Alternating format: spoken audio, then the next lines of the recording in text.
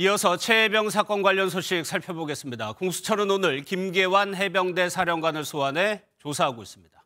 대통령실 등 윗선의 개입이 있었는지가 주된 의혹인데 특히 김 사령관은 VIP가 경로했다는 말을 전달한 당사자로 알려져 있습니다. 이 소식은 현장 연결해서 들어보겠습니다. 박혜빈 기자 조사 내용 전해 주시죠. 네, 저는 지금 공수처 앞에 나와 있습니다. 오늘 오전 소환된 김계환 해병대 사령관은 청사 내에서 식사를 하며 10시간째 고강도 조사를 받고 있습니다. 공수처는 200여 페이지에 달하는 질문지를 준비했을 정도로 최해병 사건 외압 의혹을 집중 추궁하고 있는데요. 굳은 표정의 김 사령관은 취재진의 질문에는 묵묵부답이었습니다.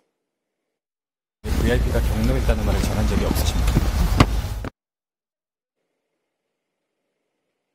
김 사령관은 지난해 7월 최상병 순직 사건과 관련해 해병대 수사단이 임성근 전 해병대 1사단장 등 8명을 경찰에 넘기려던 걸 보류하고 중단시켰다는 혐의를 받고 있습니다.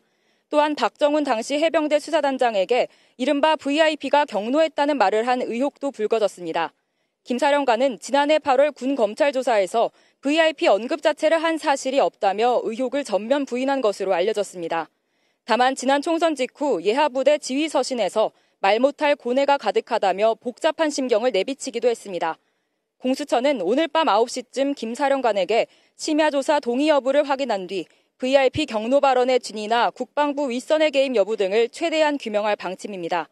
김 사령관에 대한 조사를 마친 뒤에는 신범철 전 국방부 차관과 이종섭 전 국방부 장관 등 역시 소환 조사할 것으로 보입니다.